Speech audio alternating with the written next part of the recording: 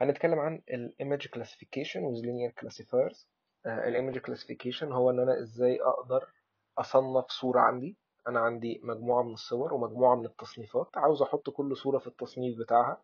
عندي مثلا مجموعة صور scenes وأنا عاوز آخد كل صورة وأقول ده أنهي scene هل مثلا دي صورة على الشاطئ دي صورة دي صورة للسماء دي صورة indoor دي صورة لطريق.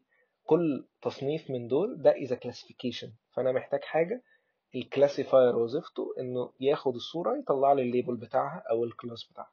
ده اللي إحنا هنتعامل معاه. إحنا mainly هنتكلم على ال category بتاعت ال traditional machine learning وهو ما زال بالرغم من انتشار ال deep learning هو ساعات بيستخدم على الأقل خالص as baseline عشان أجرب عليه problem جديدة أشوف الفرق بينه وبين ال deep learning فهو لغاية دلوقتي لغاية النهارده ليه استخدامات وساعات بيحقق نتائج كويسة في بعض ال specific applications ال slides adapted من الكورس بتاع ستانفورد ده شكل ال classical computer vision pipeline أو ممكن نسم... نعتبره كمان اللي هو ال traditional pipeline أنا عندي صور مجموعة من الصور input الصور دي ليها classification معين يعني كل صورة من الصور دي معروف دي إيه؟ يعني مثلا الصف ده كله عبارة عن صور dogs الصف ده كله عبارة عن صور ships سفن. آه وهكذا. فكل صف من دول في صورة وليها ال label بتاعها. الصورة دي أنا عندي حل من اتنين. الطريقتين بيستخدموا. يا إما الأول extract منها features وبعد كده أدخلها لل classifier يا إما directly أدخلها لل classifier عندي دول ال two approaches جوه ال classifier كمان محتاج علشان يتعلم training labels وهنا محتاجين نشرح يعني إيه كلمة training أو يعني إيه كلمة يتعلم. ال classifier وظيفته إنه لما هتجيله صورة ما شافهاش قبل كده يشوف هي شبه أنهي من الصور اللي عنده ويحدد إن دي ال classification بتاعها كذا. عشان يوصل لده هو بيحتاج ي train ياخد مجموعة من الصور أو مجموعة من ال features بتاعت الصور أيا كان ويبدأ يحاول يشوف إزاي عن طريق ال features دي يفرق الصور عن بعضها. وده اللي هنتكلم عنه وهناخد كذا نوع من أنواع ال classifiers وإحنا شغالين. فال classifier ده محتاج يحصل له حاجة اسمها training إن هو يبدأ يتعلم. يخش له الصورة بال label بتاعها خطوة خطوة خطوة مع زيادة ال data مع زيادة ال labels يوصل لمرحلة إن هو لما بيخش له صورة تانية بيعرف يشوف دي تبع أنهي classification هنا هنبقى وصلنا بعد مرحلة ال training ل classifier متعلم عارف هو بيعمل إيه بالظبط. ناخده ناخد الصورة بقى ال test اللي هو ما يعرفش عنها أي حاجة لا اعتبره إن إحنا مثلا عملنا application أو website هيخش user يرفع لك صورة أنت ما شفتهاش قبل كده ال classifier ما شافهاش قبل كده هتطلع منها ال features زي ما عملنا في المرحلة الأولى وندخلها على ال classifier ال classifier ده يطلع لي حاجة اسمها prediction اللي هو التوقع بتاعه بقى إيه إن ده كلب ولا قطة ولا إيه بالظبط. فده كده باختصار. فإحنا نقدر نختصر الكلام ده إن إحنا عندنا features بتخش على classifier تعمل له training وبعد كده في ال test بدخل ال features على learned classifier خلاص بقى اتعلم وبطلع منه prediction نقدر نقسم ده ل two phases اللي هي ال learning phase وال evaluation phase ده كده باختصار ال classical computer vision pipeline إحنا هنتكلم النهارده التفاصيل بتاعتنا الأكتر عن الجزء بتاع ال classification والجزء بتاع ال training إزاي أقدر أوصل لده؟ إزاي أقدر أوصل ل classifier متعلم وعارف يستخدم أو يشتغل مع الحاجة. تمام؟ هنتكلم عن آه هنتكلم عن إيه هو ال image classification system في الأول وبعد كده هنتكلم عن ال machine learning approach إزاي نقدر ن target ال classification problem أو أي computer vision problem ليها علاقة بال classification عن طريق ال machine learning هنتكلم عن مجموعة من ال methods زي nearest neighbor وال K nearest neighbor وال support vector machine أو ال SVM وال neural networks هنتكلم باختصار عن الحاجات دي وإزاي نقدر نتعامل معاها وإزاي نقدر نختار ال parameters بتاعتها. وبعد كده هنتكلم عن الفرق ما بين ال training phase المرحلة الأولى اللي إحنا اتكلمنا عنها اللي الموديل بيتعلم فيها والمرحلة التانية اللي إحنا هن evaluate ال model ده عشان نعرف الكفاءة بتاعته شكلها عامل إزاي.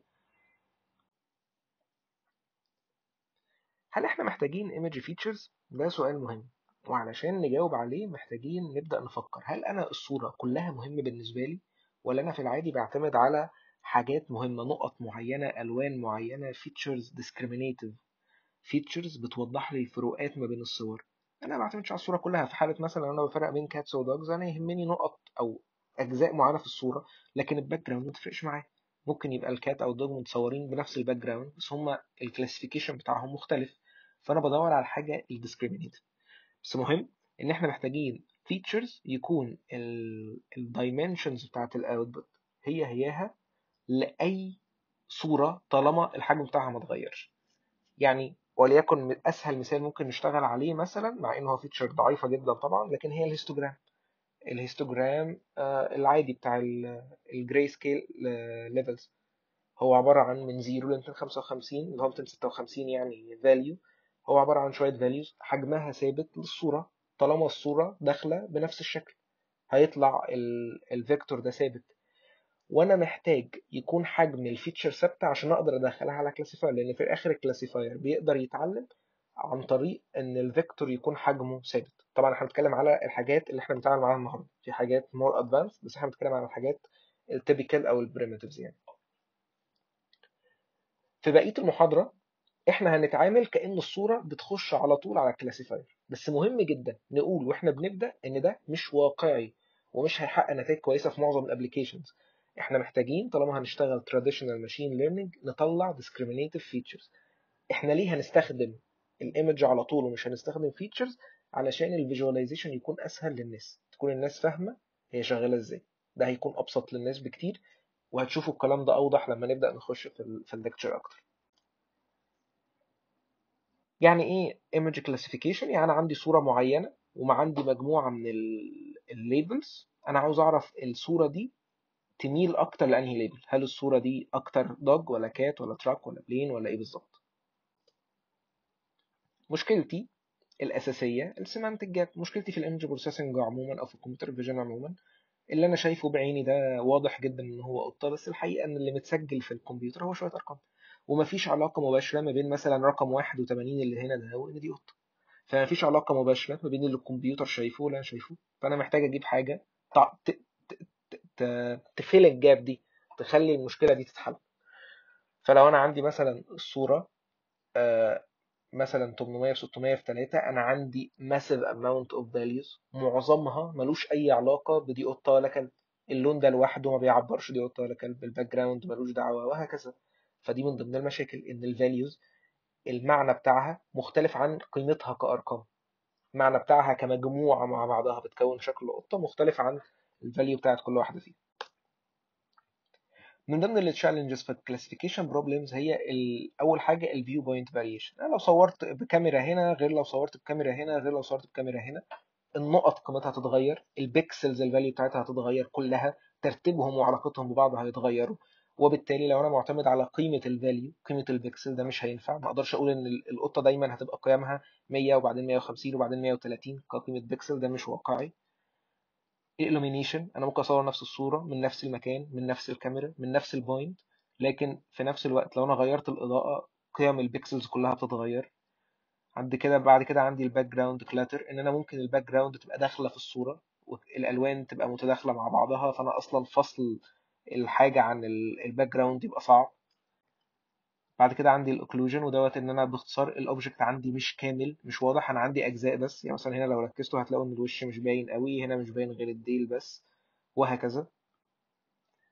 وعندي deformation إن أنا في الآخر متعود إن أنا بصور باتجاه معين مش دايما الاتجاه ده هيبقى متاح. ساعات بتبقى في حاجات بتبقى الفاليوز مش جاية مظبوطة في الصورة وهكذا. بعد كده عندي حاجة اسمها intra class variation إن كلمة قطة دي مش كلمة ده, ده مش حاجة معينة ليها لون ثابت وحجم ثابت وشكل ثابت ده عبارة عن variations من أحجام معينه أحجام مختلفة ألوان مختلفة أشكال مختلفة فأنا محتاج كل دول أسميهم cat ومفهومش الحاجات المشتركة اللي ما بينهم حاجات كلها semantic مش مش حاجات واضحة أو سهل إن إحنا نحسبها من الأرقام. في كمان ال context إن الصورة لو متصورة مثلا الصورة بتاعه الكلب ده لو أنا مصوره بنسبة 90% classifier هيطلعه على إنه tiger وده منطقي لأنه في الآخر العمدان دي لما وقع عليها الضوء خلت الظل يبينه كأنه كأنه فعلا نمر كأنه tiger ودوت مخلي ال context أثر كتير جدا على الصورة وبالتالي أثر كتير على ال classification نبدأ الموضوع ببساطة. إيه هو ال image classifier؟ شكل ال ال ال algorithm هيبقى عامل إزاي؟ هو باختصار function بتاخد صورة ترجع لي label بتاخد الصورة اللي إحنا خد... شفناها قبل كده تقول لي إن دي cat أو دي dog أو أي حاجة. ده باختصار ال classifier أو ال classifi- ال classification function ده وظيفته. بس مشكلته إيه؟ مشكلته إنه ملوش طريقة ثابتة. يعني أنت لما بقول لك sorting أنت عارف تعمل sorting بغض النظر عن ال input أنت عارف هتعمله إزاي. لكن في حالة ال classification المشكلة much more difficult إن أنا مفيش طريقة واضحة أنا مش عارف الحاجات اللي هفرق ما بينهم دول أجيب الفرق ما بينهم إزاي بالظبط؟ لو معايا القيم أنا مش محتاج classifier لكن أنا محتاج classifier عشان يساعدني. تعالوا مثلا ناخد مثال. لو أنا قررت إن أنا أستخدم ال edges ومنها أطلع ال corners وبعدين أعمل إيه؟ أكمل إزاي؟ لو أنا عرفت إن هنا مثلا في المكان ده كده في في corner ده يفيدني بإيه؟ هل ده يبين إن ده قطة؟ هل هل مفيش كلب هلاقي فيه corner في نفس المكان؟ طب هنا هل ده مثلا يأكد إن ده قطة؟ مفيش حاجة من الحاجات دي هتكون واضحة concrete أنا عارف بالظبط إنها قطة. فالحل إن أنا عاوز حاجة شيئا ما لسه هنتكلم في تفاصيل ده إزاي إزاي بيشتغل. شيئا ما هيقعد يتعلم يتعلم على الصور دي وهو بقى اللي يقول لي آه ده لما بيجي مثلا ال- الكورنر اللي تحت ده مع ال- الكورنر اللي فوق قصدي ده مع الدخلة بتاعه إن في هنا ايدج مع مش عارف إن في هنا كذا ده يبقى ده يبقى كات اللي هيجمع ال- العلاقة دي ما بين أرقام أنا نفسي مش قادر أحكم عليها ك user بيستخدم ال system أو ك developer حتى بيعملوا development ده ال classifier classifier هديله شوية features وهو يعمل علاقات mathematical ما بينها كأنه بيعمل باختصار لو إحنا هن, هن يعني over simplification كأنه بيعمل معادلة تقول لي هات x إن إيه يعني مثلا اضرب ال feature الأولى في 3 واجمعها على 2 واطرح منها 5 يطلع لك ال output ده رقم ال class اللي أنت عاوزه. اللي إحنا بنقوله ده طبعا simplification بس يوضح الفكرة. أنا في الآخر عاوز حاجة بعد ما تتعلم أديها الصورة تقول لي ال label نقدر نقول إن إحنا علشان نعمل أي machine learning approach سواء كانت traditional أو حتى deep learning ده بره بره ال scope بتاعنا بس هيستخدم نفس الطريقة هي حاجة نقدر نعتبرها data driven approach يعني أنا الأساس بتاع ال data.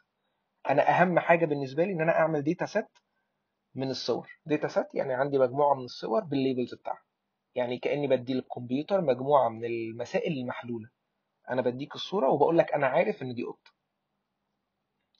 تاني حاجة هستخدم machine learning algorithm عشان أعلم classifier لما هديله ال input اللي إحنا قلنا اللي هو label دي يعني هو مع الوقت يبدأ يتعلم إزاي يفرق ما بينه وبين بعض. بعد كده بقى evaluate ال classifier ده عشان أعرف هو مطلع نتائج كويسة ولا لأ.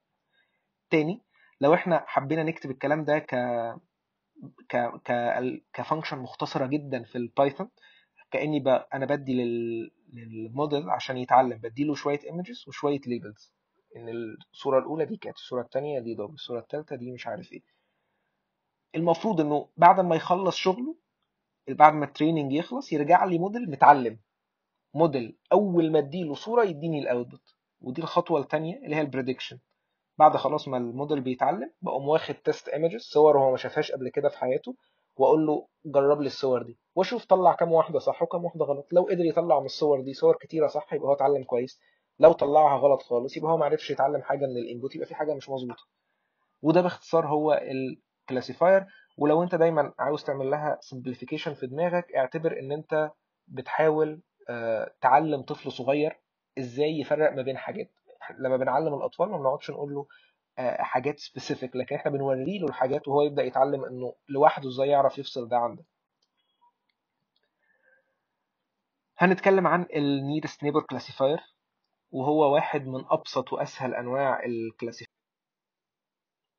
أول classifier ال nearest neighbor هو عبارة عن direct application أنا معايا كل ال data وال labels اللي أنا اتعلمت عليها بخليها عندي. وكل ما يجي لي واحد جديد أقعد أقارنه بكل اللي متسجلين عندي وأشوف أقرب واحد ليه هو دوت يبقى الصح. يعني أنا هقارنه بكل الصور اللي موجودة. لو لقيت أقرب صورة ليه صورة كلب يبقى هو كلب. لو لقيت أقرب صورة ليه صورة قطة يبقى هو قطة. هنشوف ده إزاي دلوقتي. لكن هو بالبساطة دي هو بالاختصار. لو أنا عندي مثلا دي ال input images دي الصور اللي داخلة لل system اللي هو اتعلم عليها وأنا بعد كده جبت الصورة دي قلت له شوف لي الصورة دي أنهي نوع من الصور. هياخد الصورة دي. يقارنها بأول صورة يجيب الفرق ما بينهم وبعد كده يقارنها بتاني صورة وبعد كده يقارنها بتالت صورة ويحسب الفرق ما بين الصورة دي وكل الصور دي لغاية ما يشوف إيه أقرب صورة ليها. تبقى هي دي ال... يبقى هو ده ال classification بتاعي وطبعا في الحقيقة هم ما بيبقوش خمس صور هم بيبقوا ملايين الصور.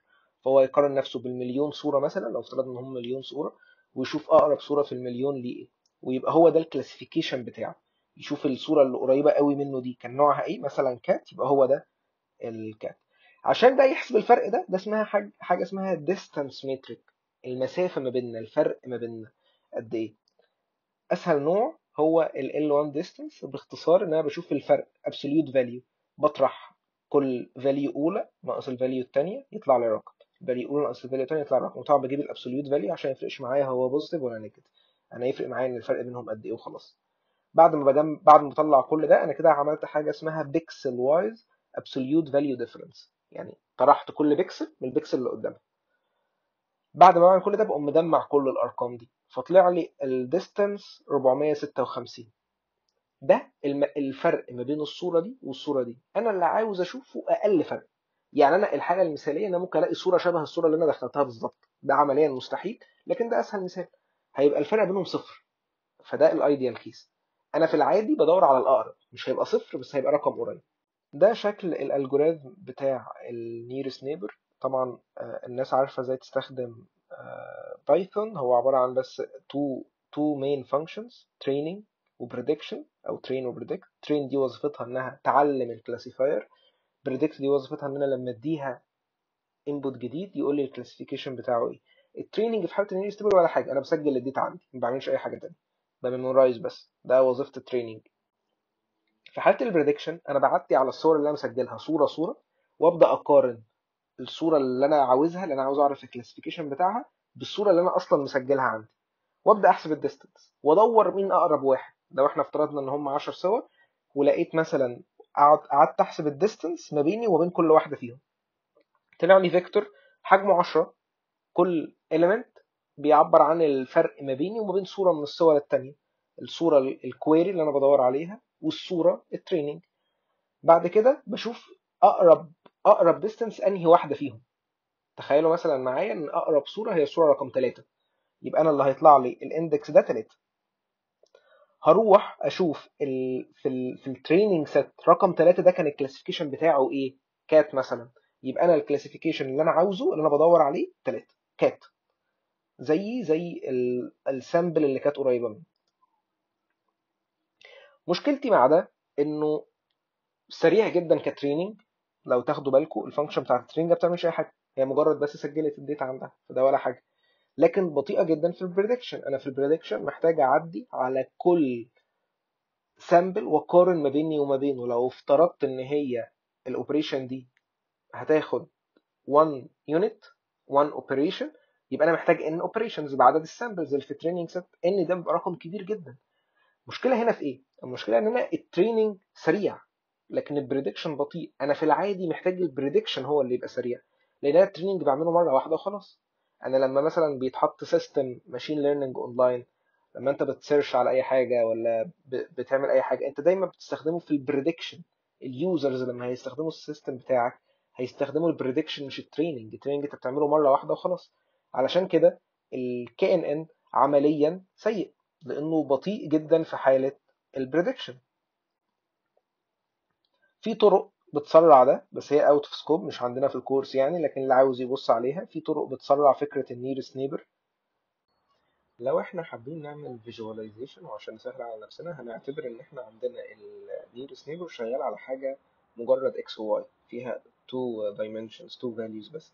فده شكل ال points ال training points محطوطة بالمنظر ده.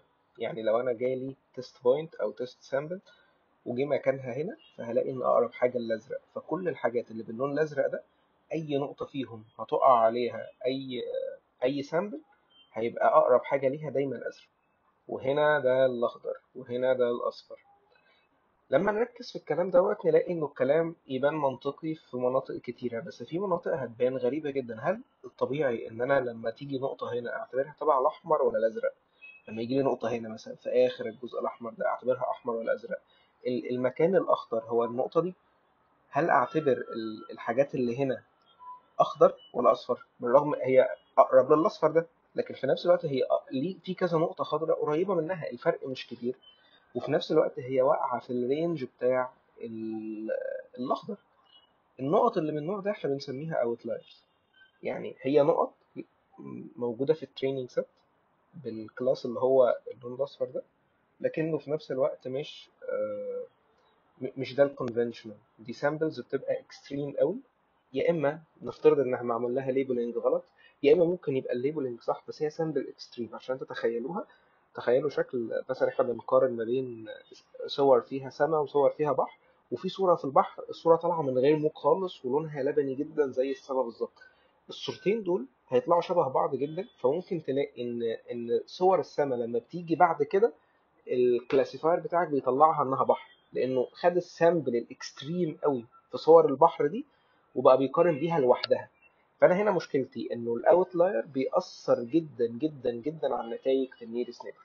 مجرد sample واحدة اللي هي ال sample دي هتلخبط لي ال classification في النقط دي كلها. تمام؟ هنتعل... هنتكلم عن ال K nearest neighbor والفرق ما بينه وما بين ال nearest neighbor العادي. إن أنا بدل ما بختار بدل ما بدور على أقرب neighbor أنا بشوف أقرب K neighbors K دوت رقم hyperparameter بختاره زي ما أنا عاوز وبناء عليهم بشوف اللي أقرب ليا كام واحد من كل class يعني مثلا لو أنا مختار إن K ب 3 زي المثال ده. فساعتها عشان أحدد لو جالي sample هنا دي هتبقى تبع اللون الأخضر ولا الأصفر هدور على أقرب ثلاثة ألاقي إن ده قريب مني الأخضر وده أخضر وده أصفر.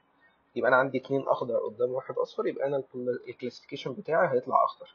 فمن الآخر أنا هنا مش بدور على أقرب واحد بس أنا هنا باخد K K closest nearest neighbors وبعمل majority vote بشوف مين أكتر حواليا.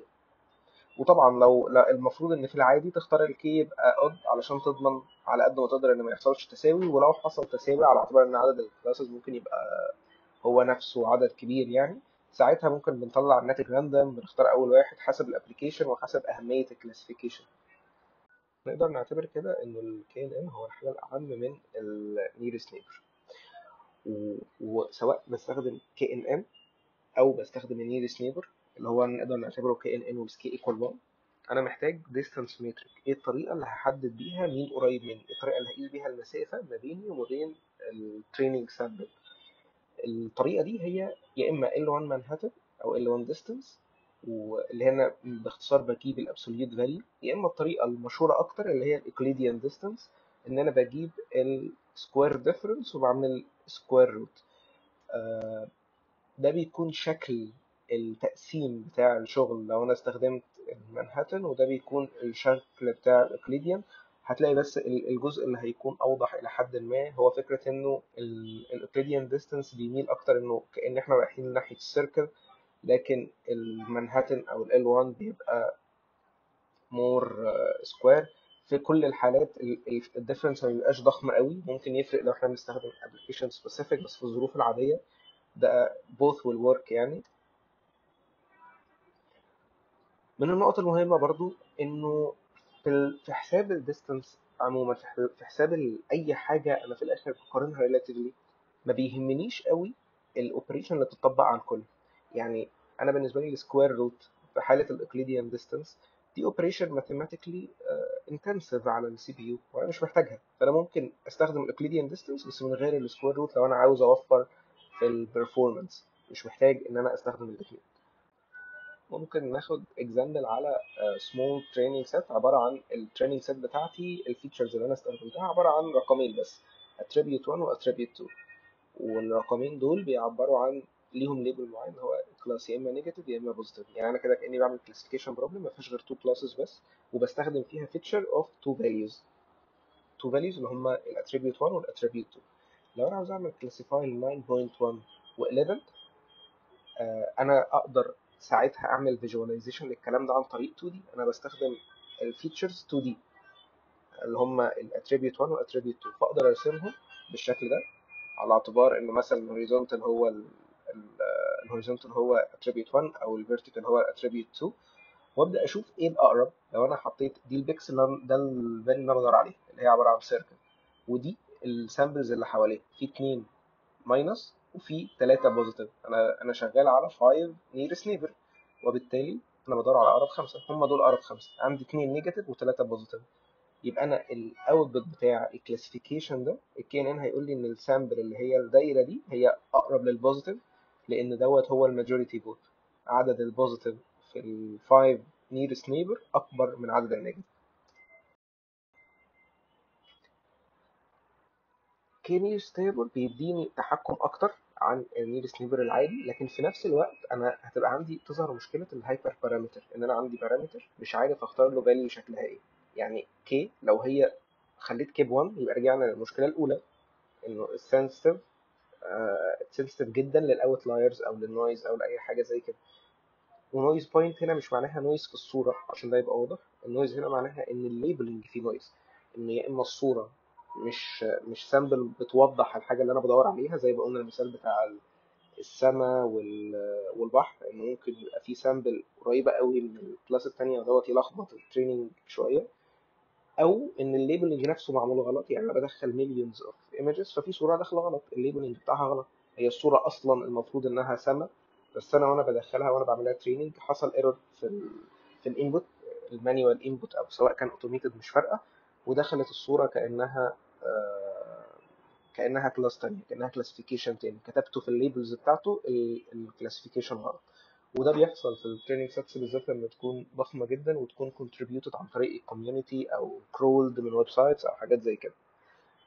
لو أنا اخترت ال K زي ما قلنا قليل هيبقى sensitive لل noise points طب لو أنا اخترت ال K كبير قوي المشكلة إن أنا هدخل معايا points ملهاش لازمة باختصار. يعني أنا لو أنا اخترت ال K ب 100 يبقى أنا بدور على أقرب 100 point ده معناه إن أنا بدخل points كتيرة قوي. ممكن أبقى ببعد خالص عن ال points اللي أنا قريب منها. أنا كده مبقتش بدور على القريب مني أنا كده بدور على أي points خلاص. تعالوا مثلا نشوف كده لو إحنا اخترنا K equal 1 لو إحنا اخترنا ال K equal 1 هتلاقي إنه الأقرب هو ال square ده. K equal 1 يعني أنا بدور على neighbor واحد بس. فأقرب neighbor هيبقى ده. لو أنا اخترت K equal 3 هلاقي إن أنا عندي اتنين triangle وواحد square فالأقرب ليا في الحالة دي هو ال triangle لو أنا اخترت K equal 7 فهرجع تاني ألاقي إن عندي 4 squares و3 triangles مهم بس نوضح إنه المثال ده مثال extreme جدا ال sample واقعه في النص تقريبا بالظبط ما بين ال samples لكنه بيوضح فكرة إن قد إيه ال K sensitive قد إيه ال K value مهمة جدا جدا جدا في ال KNN وقد إيه ممكن تفرق في ال output بتاع ال parameters typically ال K بيبقى 5 بيبقى 7 بيبقى في الأرقام دي في بعض ال applications بتحقق نتائج أحسن لما تزوده شوية في بعض ال applications بتقلله حاجة بسيطة وبيشتغل لكن typically بيبقى 7 9 زي ما اتفقنا إحنا عندنا hyperparameters الأول قلنا اللي هو ال K وده مشكلة. تاني hyperparameter هو ال distance لأنه إحنا لو اتكلمنا عن ال distance قلنا إن في نوعين وفي أنواع تانية كتير بس هم في نوعين إحنا شرحناهم. فأنت عندك اختيارين اللي هو المنهاتن أو ال L1 وال L2 أو ال Euclidean ومهم جدا نفهم إنه مفيش اختيار من دول صح واختيار من دول غلط. إحنا لازم نبقى عارفين إن دوت dependent على المشكلة اللي أنت بتحلها. يعني مفيش حل صح مفيش رقم دايما هيشتغل مع كل حاجة. إحنا في العادي بنجرب نتائج بنجرب parameters معينة ونشوف هتطلع نتائج شكلها إيه ونبدأ ن adapt حسب النتائج. لو لقينا نفسنا بنتحسن لما بنزود ال K بنجرب نزوده أكتر. لو لقينا النتائج بتبقى أسوأ بنرجع نقلله. وطبعا كل ما تبقى فاهم insights عن حاجة شغالة إزاي تقدر تطلع أفضل parameter أو تبقى عارف المشكلة اللي بتحصل بتحصل سببها إيه فتبقى عارف ت diagnose وتبدأ تحل المشكلة. طيب علشان أبدأ أختار ال hyperparameters بتاعتي وهنتكلم تحديدا عن ال K هو ده اللي هن هو ده اللي هناخده ك example نشتغل بيه. عندي شوية اختيارات. ممكن واحد تيجي في دماغه فكرة إنه يتعامل مع ال training data إحنا قلنا إن إحنا أول ما بنبدأ المشكلة بنقسم ال data بتاعتنا. جزء training وجزء evaluation ال evaluation ده هنجربه عشان نتأكد من الدقة بتاعة الشغل بتاعنا ماشية إزاي. لما ال system اللي اتعلم ده هيشوف new sample هيطلع النتائج بتاعتها شكلها عامل إيه. وال training دي اللي أنا هستخدمها عشان أعلمه بيها مجرد إن هو يتعلم عن طريقها. فأول حل إن أنا أشوف أكتر حاجة هتطلع نتائج كويسة على ال training data ودي من الحلول اللي هتعمل لنا مشكلة كبيرة. لأنه أنا ممكن أختار تخيلوا إن K equal 1 طلعت نتائج perfect على ال training data بس المشكلة اللي هتحصل ممكن لما أجي أجرب نفس ال parameter ده على ال test data الدنيا ما تشتغلش. لأنه لما أنا بقعد بعلم ال classifier عموما على training data هو بدرجة ما ي- يخش في نوع من أنواع إنه حافظ ال samples. إنه عارف يقارنهم بصورة أسهل عارف يشتغل عليهم بصورة أسهل. هو شافهم قبل كده. فهنا ال evaluation مش منطقي مش طبيعي. أنا ما أقدرش أختار hyperparameter على إن أنا أجربه على ال training data وأشوف الناتج بتاعها إيه. فعندي حل تاني. ما أنا ممكن أختار ال hyperparameter based on ال test data يعني أجرب على التست داتا الكيب 1 وكيب 2 وكيب 3 وكيب 4 لغاية ما ألاقي أحسن نتيجة وأستخدمها. ودي أكبر غلطة ممكن يقع أي واحد شغال في ال machine learning فيها. كارثية لأن كل النتائج اللي هتطلع بعد كده هتكون غلط. اوعوا تعملوا ده. متعادة لكوا 20 مرة أهو علشان اوعى تعمل ده. لما بتعمل ده أي نتيجة هتطلع معاك هي مش حقيقية. أنت اللي عملته دلوقتي إنك لفقت النتيجة. يعني أنت اخترت ال parameter اللي هينفع مع الامتحان اللي أنت حاطه. أنت كده خليت ال classifier ده يبقى معمول مخصوص على الامتحان اللي هو المفروض أصلا ما شافوش. الفكرة باختصار إنه أنا عاوز أعلم كأني زي ما اتفقنا ال classifier ده عامل زي طفل صغير. لو أنا علمت الطفل إنه يجمع 2 زائد 2 و- وده اللي قعدت أسأله له طول الأسبوع وبعد كده هو هو اللي أنا جبته له في ال test هو هيقول أربعة بس هو ممكن ما يكونش فاهم الجمع ده بيحصل إزاي. هو ما اتعلمش حاجة. عشان أعمل ده ال test set دي لازم تكون منفصلة تماما ما دخلهاش في أي hyperparameter ما دخلهاش في أي حسبة. لغاية ما أختار ال hyperparameter وأقرر هيبقى بكام وأعمل ال training وأخلص كل الشغل ده المفروض إن ال test set أنا ما أعرفش عنها أي حاجة. عشان كده بيسموها كتير قوي في ال references blind set يعني set أنا ما شفتهاش قبل كده ال classifier ما شافهاش قبل كده ما نعرفش عنها أي حاجة. الحل الثالث إن أنا هقسم ال training set لجزئين جزء اسمه training وجزء اسمه validation هعمل ال hyperparameter based on ال validation ده. ال validation ده الفرق بينه وبين ال test set إن أنا بجرب وأنا شغال. ده براحتي بقى. ده هجرب وأغير ال hyperparameter وأجرب عليه تاني وأغير ال hyperparameter تاني وأجرب عليه تالت وهكذا لغاية ما أتأكد إن النتائج طالعة مظبوطة على ال validation طيب افرض ال test set أو ال data set بتاعتي لو ال data set بتاعتي صغيرة ومش قادر إن أنا آخد جزء أخليه validation على طول وأجرب عليه أو لو أنا ما عنديش خايف إن أنا الجزء اللي آخده ك validation ما يبقاش معبر قوي عن ال data set كلها عندي طريقة جنرال اسمها cross validation ودي من الطرق الممتازة جدا اللي أقدر أستخدمها إن أنا باخد ال training وأقسمه خمس أجزاء. لو أنا هستخدم cross validation 5 5 folds بقسمه لخمسة folds أو خمسة groups كل مرة أختار واحد منهم ك validation والباقي أستخدمه في ال training فمثلا أول تجربة أنا هعيد كده التجربة خلي بالكم خمس مرات عشان أحدد ال hyperparameters في الحالة دي أنا هعيد التجربة خمس مرات خمس مرات. هبدأ من classifier جديد خالص وأعمل له training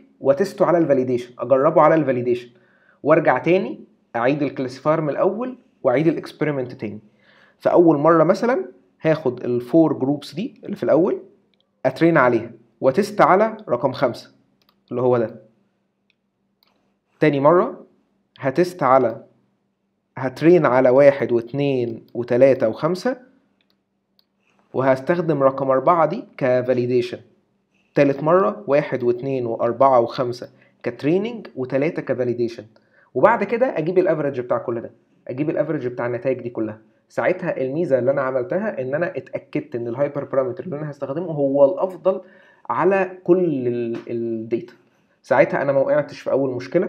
ما دخلتش ال training data جوه ال validation لأن أنا ببقى فاصلها قبل ما أعمل training تاني حاجة ما دخلتش ال test set في العملية خالص. ال test set لغاية دلوقتي لسه blind set blind set يعني مش كأني مش شايفها.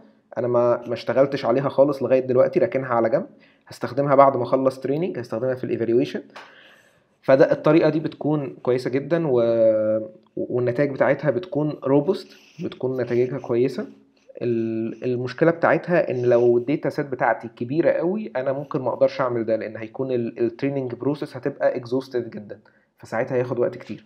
فمش دايما بقدر أعمل الطريقة دي. وخصوصا لو إحنا اشتغلنا في ال deep learning والموضوع بقى data set أكبر من ال من ال من الحجم اللي إحنا شغالينه لو بنستخدم data set صغير. ممكن نتكلم مثلا على مثال بسيط. لو أنا عندي 10 classes اللي هي ال CIFAR 10 دي data set مشهورة قوي. فيها عبارة عن 10 classes ال 10 classes دول اللي هم اللي ظاهرين قدامكم عبارة عن فيهم طيور فيهم سفن فيهم trucks وعبارة عن خمسين ألف training image خمسين ألف image بستخدمهم في ال training وعشر تلاف test image لو أنا هستخدم ال cross validation هاخد الخمسين ألف دول وأقسمهم كل عشر تلاف لوحدها. كل مرة آخد عشر تلاف أركنهم على جنب ك validation وأعمل train على الأربعين ألف المتبقين وأجرب على العشر تلاف وبعد كده أنقل على أغير العشر تلاف دي أدخلها وآخد واحدة تانية مكانها من ال folds دي لغاية ما أخلص الخمس مرات. وكل مرة إحنا شغالين بال nearest neighbor فالمفروض أو ال k nearest neighbor فأنا المفروض بشوف كام واحدة قريبة مني. كل مرة هعمل القصة دي. حاليا أنا لسه بجربها على ال validation بجربها على ال validation set لغاية دلوقتي أنا ال test set بره القصة دي خالص. هيطلع لي منظر زي ده. لما ال k بصفر النتائج طالعة لي النقط اللي أنتوا شايفينها قدامكم دي.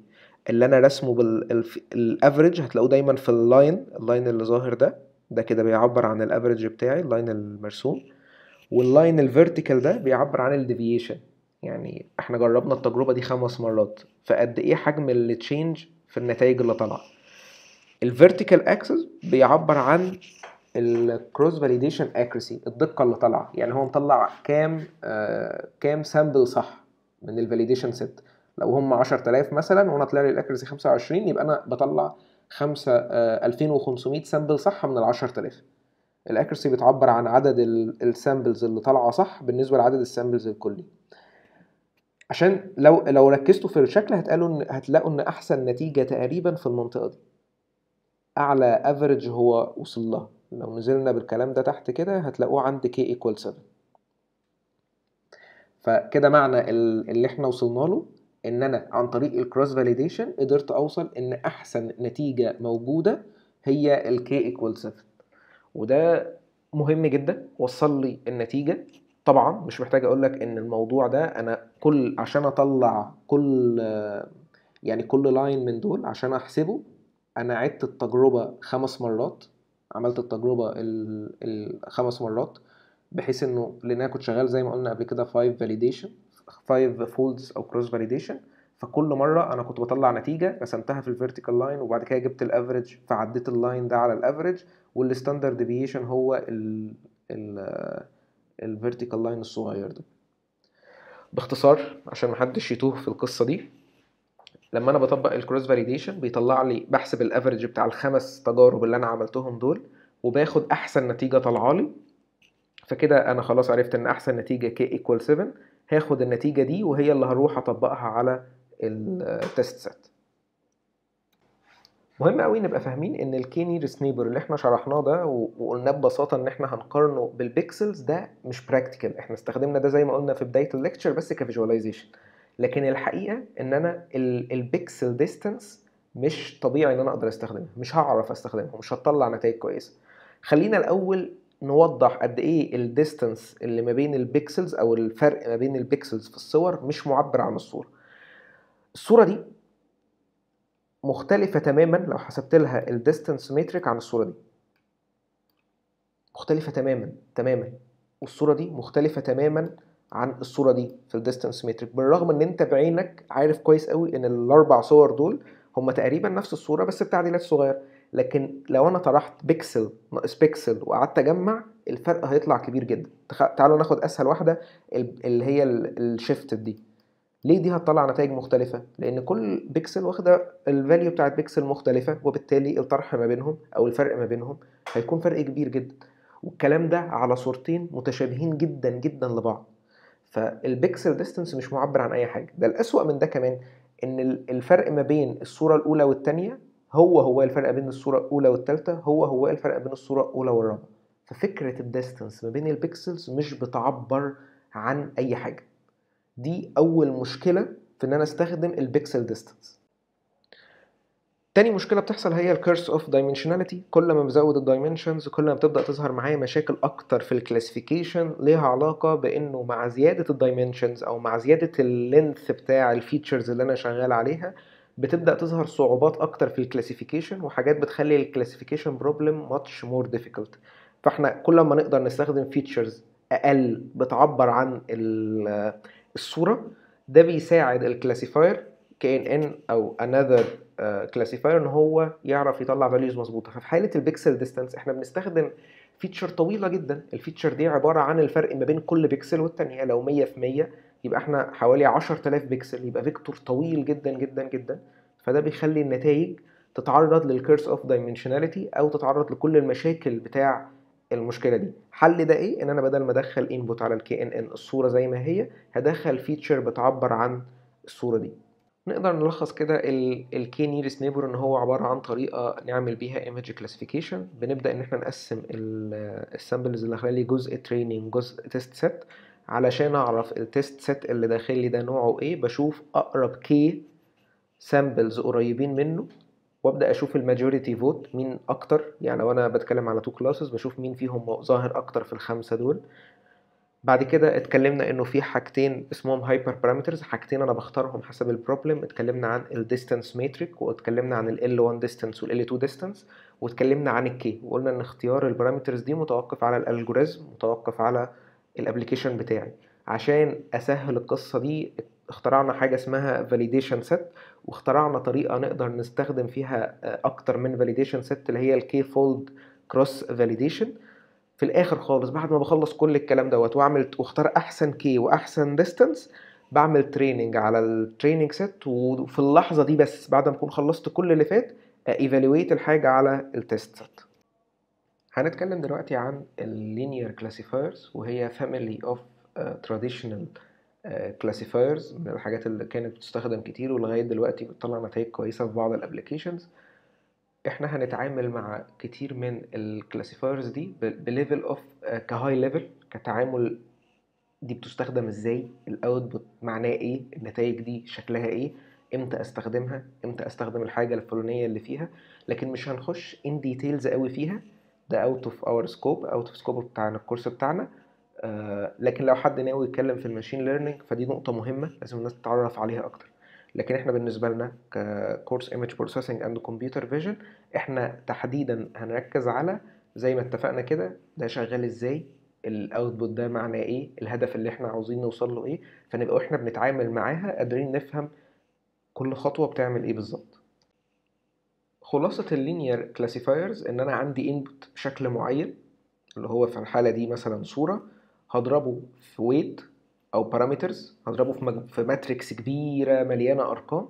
ال matrix دي هتطلع لي score لكل class لو أنا مثلا عندي 10 classes زي ال example اللي إحنا كنا قلناه من شوية بتاع CIFAR فأنا عندي 10 uh, 10 classes cat و dog و truck. فهو يطلع لي score لكل حاجة. كل ما ال score ده قرب الصورة لل category بتاعها كل ما ال classifier بتاعي يكون اتعلم بصورة أحسن. ال output بتاعي لو هو عبارة عن 10 classes فأنا هيكون شكل ال output بتاعي 10 في واحد عبارة عن ال 10 values بتاعة ال scores بتاعة كل class لو افترضنا إن الصورة ال input عبارة عن 32 في 32 في 3 فأنا ممكن أحولها ل 1D vector طوله 3072 يبقى كده أقدر أقول إن ال weight اللي يقدر يحول من ده لده هو عبارة عن 10 في 3072 عبارة عن 10 rows في 3072 column ده كده هيكون شكل ال matrix بتاعة ال weights زائد بستخدم حاجة اسمها bias عبارة عن رقم بيتضاف على الحسبة دي لما تخلص. يبقى أنا كده هاخد الصورة هضربها في ال weight في ال weight matrix وأجمعها على ال bias تعالوا نطبق الكلام ده على sample صغيرة. هنعتبر إن الصورة بتاعتي عبارة عن 4 pixels هاخدها الأول أعمل لها flatten زي ما إحنا قلنا أحولها من 2 D ل 1 D وبعد كده أضربها في ال W وأجمع عليها ال b النقطة دي مهمة قوي إن إحنا ناخد بالنا من ناحية algebraic. أنا علشان أحسب ال cat score ده ده اتحسب إزاي؟ ده عبارة عن أنا ضربت أول row في ال matrix دي. هو عبارة عن matrix multiplication عادي جدا. ضربت أول row في ال matrix دي. في الصورة كلها وجمعت عليها أول value في ال b. فده يطلع لي ال cat score عشان أحسب ال dog score هضرب تاني row في ال weights في الصورة كلها وأجمع عليها ال b فيطلع لي ال dog score وتالت row في ال weight لما يتضرب في ال في ال tensor ده أو في ال vector ده وأجمع عليه ال b هيطلع لي ال ship score وبالتالي أنا كل row في ال weight بيعبر عن ال value اللي هتأثر على ال score بتاع class من ال classes بتاعتي. نقدر نشرح ده بصورة أبسط على الرسمة دي. أنا عندي ال input image لما بضربها في أول جزء في ال W اللي هو الجزء اللي هو كان أول row وأجمع عليها ال b هيطلع لي ال score بتاع الصورة دي cat ولا مش cat. لو أنا ضربت الصورة دي في تاني row وجمعت عليه ال b هيطلع لي الصورة دي تاني class مثلا dog ولا مش dog وهكذا. أقدر كمان أفهم الجزئية دي على اعتبار إن كل جزء من ال weight الجزء اللي هو اللي لونه orange ده اللي كان بيعبر عن ال cat score أو الجزء ده اللي بيعبر عن ال dog score وهكذا إنه كل واحد من المجموعة دي هو عبارة عن ال average بتاع كل الصور اللي بتمثل الكلب أو القطة أو الكلام ده كله. فلو أنا عملت له visualization هتلاقونا تحت كده عاملين visualization لو أنت مثلا ركزت على ال ships هتلاقي ال ships لونها أزرق. وده منطقي لأنه معظم ال ships بتتصور في البحر والبحر خلفيته زرقاء. فلو أنا خدت ال average أو template للسفن هيبقى معظمها اللون ناحية الأزرق. لو ركزتوا قوي في الصورة بتاعة ال horse ودي فيها نقطة مهمة جدا هتلاقي إن كأن ال horse ليه two heads ليه head ناحية الشمال و head ناحية اليمين. وده لأن أنا عندي ال input images جزء منها في صور ال horse باصص ناحية اليمين وجزء تاني باصص ناحية الشمال. وهكذا. نقدر كمان نشرح ال linear classifier عن طريق geometric view point نقدر نقول ببساطة إنه ال linear classifier كأنه عمل separation ما بين ال classes المختلفة في ال space فلو أنا جالي أي صورة في المكان ده أنا هعتبرها car لأنه ده ال boundary بتاع ال car ولو أنا جالي أي صورة في ال deer أنا هعتبرها لو أنا جالي أي صورة هنا هعتبرها deer لأن ده ال boundary بتاع ال deer. وهكذا. فكده أنا أقدر كمان أبص linear classifier. مرة بصيت له بطريقة algebraic مرة بصيت له في طريقة illustration أو view أنا هشوفه إزاي وأقدر كمان أشوفه من ناحية geometric إن هو عبارة عن separation أو separable spaces. مشكلة ال linear classifier إن في cases هو مش هيعرف يفصلها عن طريق plane أو عن طريق line في حالة ال 2D دي. أنا مفيش طريقة أقدر أفصل مثلا ال classes في الحالة الأولى دي. مفيش line أقدر أرسمه يفصل ال classes عن بعض. لو أنا خدت line مثلا عامل كده فأنا هضطر أخلي اللي على يمينه class واللي على شماله class فبرضه هيبقى الحسبة بتاعتي غلط. تاني case نفس الكلام تالت case نفس الكلام. ما عنديش حاجة أقدر أفصل بيها إنها تكون عبارة عن line ليه؟ لأنه ال classifiers اللي إحنا شغالين عليها لغاية دلوقتي عبارة عن classifiers linear عبارة عن مجرد لو في حالة ال 2D دي هتبقى مجرد line بيفصل ال classes عن بعضها. لغاية دلوقتي أنا كنت بفترض إن ال weight matrix موجودة معايا اللي هي سميناها W في الم... في ال equations اللي فاتت. لكن الحقيقة إن ال weights دي بتتحسب بيتعمل لها training ال classifier هيتعلمها لغاية ما يطلع أحسن weights يقدر عليها. عشان أقدر أطلع ال weights دي محتاج حاجتين.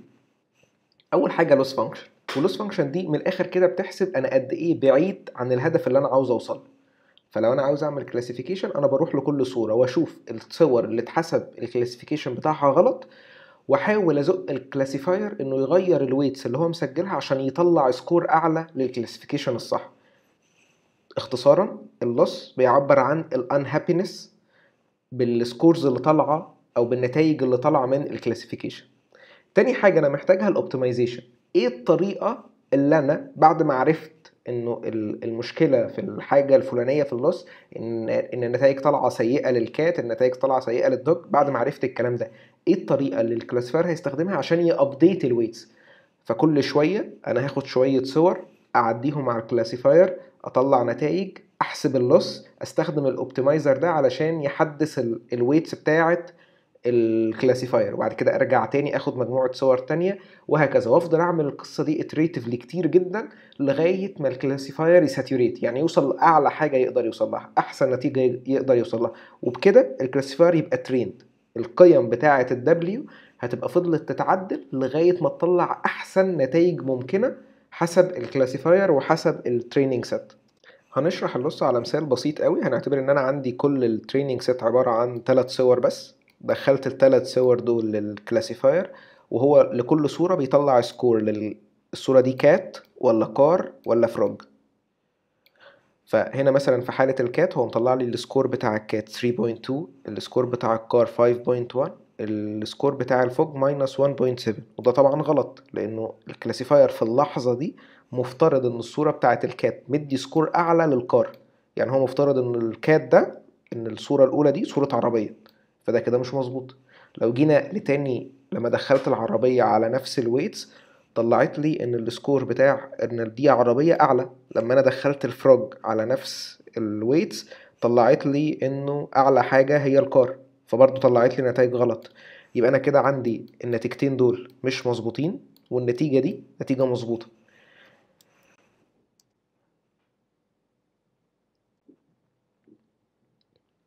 أنا اللي أقدر أعمله ببساطة إن أنا لو في طريقة أحسب بيها ال loss لكل sample يعني أقدر أقول ال loss بتاع ال- ال cat كذا وال loss بتاع العربية دي كذا وال loss بتاع ال frog دي كذا وجبت ال average يبقى أنا كده جبت ال total loss بتاع ال data set بتاعتي اللي في الحالة دي عبارة عن 3 samples ال multi-class SVM loss هو عبارة عن loss من ال losses المهمة جدا اللي بتستخدم في ال SVM في ال SVM classifier وال SVM ده اختصار support vector machine ده نوع من أنواع ال classifiers المشهورة جدا اللي بتستخدم وبتطلع نتائج كويسة جدا.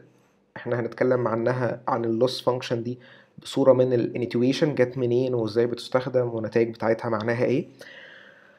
ال- القصة باختصار إن أنا عاوز كل correct correct classification يكون أعلى من بقية ال classifications لنفس الصورة بعلى الأقل واحد. يعني في حالة ال car دي مثلا لو ركزتوا هتلاقوا ال correct classification اللي هو إن ال car دي عبارة عن car اللي هو ال 4.9 ده كده ال correct classification هتلاقوه أعلى من ال other classifications بأكتر من واحد.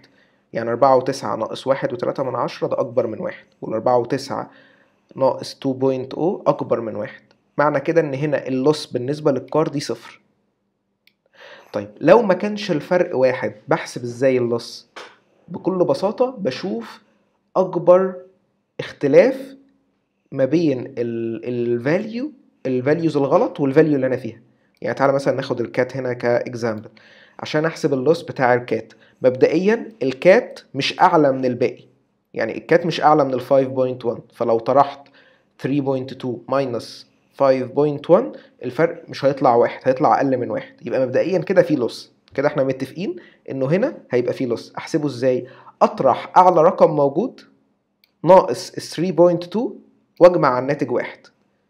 ده كده هيبقى ال loss بتاع أول sample فده هيطلع لي مثلا X بعد كده أروح لل sample التالتة أعمل نفس الكلام. فيطلع لي مثلا Y هجمع ال X زائد ال zero زائد ال Y وده كده هيكون ال loss بتاع ال SVM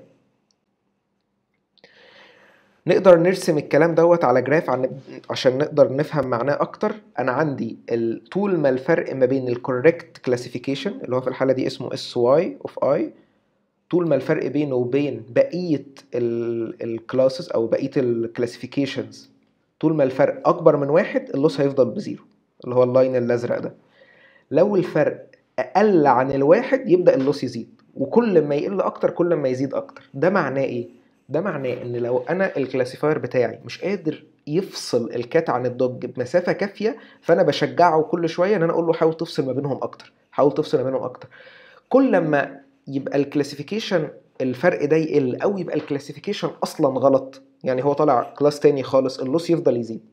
فكده يبقى ال SVM طول الوقت عارف هو بعيد قد إيه عن اللي المفروض يوصل وده كده ال loss function طيب لو أنا بقى محتاج ال optimization ده جزء إحنا مش هنتكلم فيه بالتفصيل لكن باختصار ال classifier بتاع ال SVM بيستخدم طريقة iterative إن هو كل شوية بيقعد يحاول يجرب إزاي يفصل ما بين ال samples دي عن طريق حساب ال loss function وبعد كده يحسب ال loss function تاني يلاقي الفرق لسه مش مظبوط يقوم مجرب إن هو يفصل ما بينهم iteratively كذا مرة لغاية ما في الآخر خالص يقدر يفصل ال samples عن بعضها.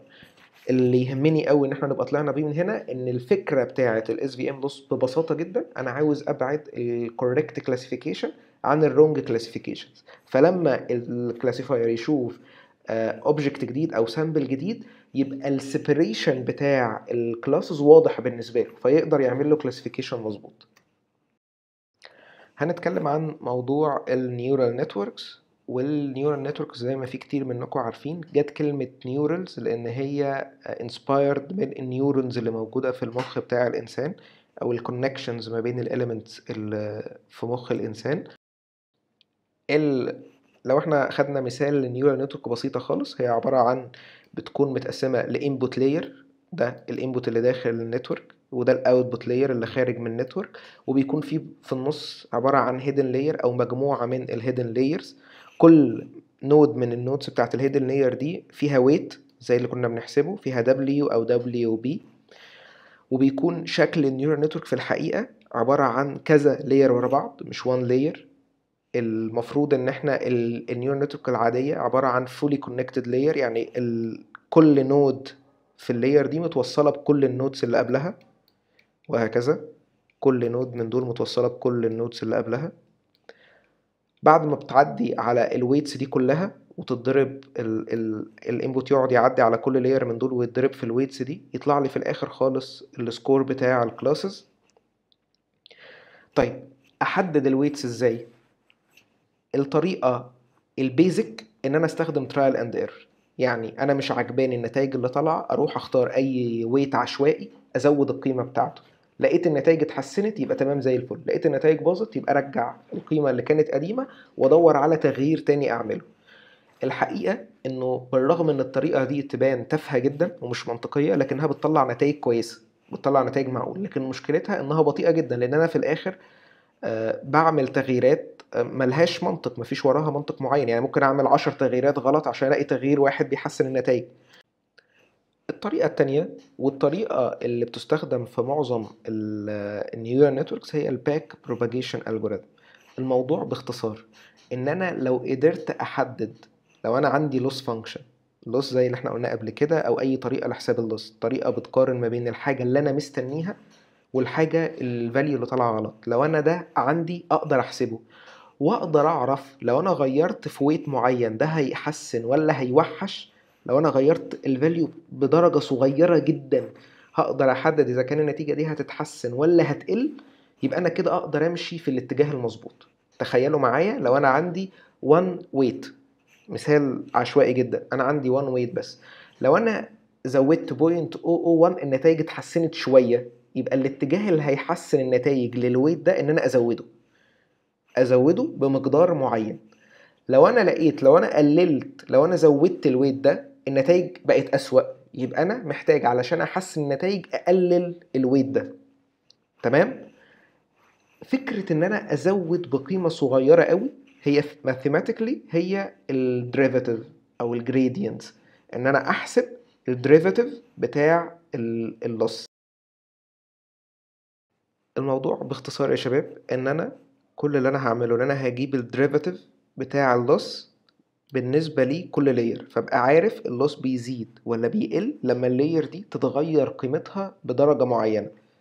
وحسب ده هبدأ أعدل القيمة بتاعة ال layer دي ويحصل back propagation يعني ال derivative اللي أنا حسبتها دي أحسب منها اللي قبلها وبعد كده أحسب منها اللي قبلها وبعد كده أحسب منها اللي قبلها لغاية الأول layer خالص لغاية أول hidden layer كده أنا عملت كده أنا عرفت أنا إيه الاتجاه اللي محتاج أمشيه في كل node في كل node من ال nodes دي علشان أحسن نتائج. يعني مثلا ممكن يطلع لي إن ال derivative تقول لي إن أنت هنا محتاج تزود أنت هنا محتاج تنقص أنت هنا محتاج ما تغيرش أي حاجة ال gradient بصفر. أنت لو غيرت في أي اتجاه مش هتحسن النتيجة فخلي الحاجة زي ما هي. النتائج اللي طلعت لي دي هستخدمها علشان أعمل update لل weights فالميزة إن أنا دلوقتي بقى ال update نقدر نسميه directed update يعني أنا عارف وأنا بعمل update إن ال update اللي أنا هعمله ده هيحسن النتائج. كده باختصار عشان برضو لو كان حد وقع أنا بحسب ال loss function ومنها بستخدم ال derivatives اللي منها ببدأ أحسب لكل layer إيه الاتجاه اللي أنا محتاج أمشي فيه سواء أزود أو أنقص علشان أعمل update لل values واللي بيقوم بالقصة دي حاجة اسمها optimizer ال optimizer في ال neural network هو إيه الطريقة بقى اللي أنا بعد ما عرفت الاتجاه هزوده يعني هزوده بقد إيه؟ هل هزوده بقيمة كبيرة قوي؟ هل هزوده بقيمة قليلة قوي؟ أنا عارف إن أنا لو مشيت في اتجاه ال positive النتيجة هتتحسن. بس ال optimizer بيحدد أنا محتاج أمشي في ال positive قد إيه. هل كل ال weights زي بعضها ولا كل weight أمشي فيه في اتجاه مختلف؟ ولا هل في أوقات محتاجة freeze ال weights شوية؟ ده ده كله آه ال field بتاع ال optimizers كده أنا خلصت ال training بتاعي. المفروض إن أنا لو عملت العملية اللي إحنا حكينا فيها دي مثلا 1000 مرة 5000 مرة 10000 مرة حسب حجم ال data set بتاعتي كل مدى ال weights بتتحسن لغاية ما ال weights هت saturate خلاص مش تتحسن عن كده. هلاقي ال gradients بتاعتي بقت saturated يعني ما بتتغيرش تاني مش قادرة تحسن في النتائج تاني. لما بوصل لدوت بعمل classification يعني خلاص بقى مش هيبقى فيه back propagation مش هيبقى فيه gradients كل اللي بيحصل إن أنا باخد ال input اللي جاي لي الصورة الصورة اللي داخلة لي أو ايا كان ال input شكله إيه بعديه على كل ال hidden layers لغاية ما يطلع لي ال score في الآخر. ده هعتبره آخد أعلى score منهم يبقى هو ده ال classification فلو أنا طلع لي مثلا ال score إن ده cat يبقى ال classification بتاعي إنه ده cat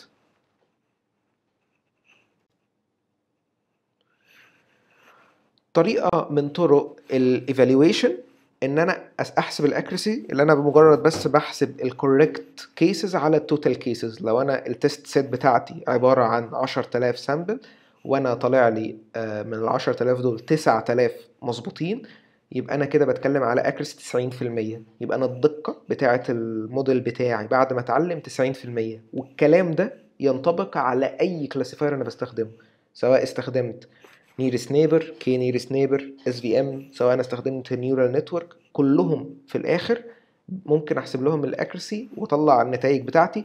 بس النقطة المهمة جدا في الموضوع إن الكلام ده كله يتحسب على ال test set بعد ما أكون خلصت كل ال operations في كل الخطوات اللي فاتت أنا شغال blind test set يعني عمري ما شفتها قبل كده. عمري ما خليت ال classifier بتاعتي ال classifier بتاعي يشوف ال test set ببدأ أتعامل مع ال test set بعد ما أخلص training خالص. بأن أنا أستخدم evaluation من أشهر ال evaluations في حالة ال classification بالذات هو ال accuracy إن أنا بحسب بس كام سامبل صح من التوتال سامبلز شكرا.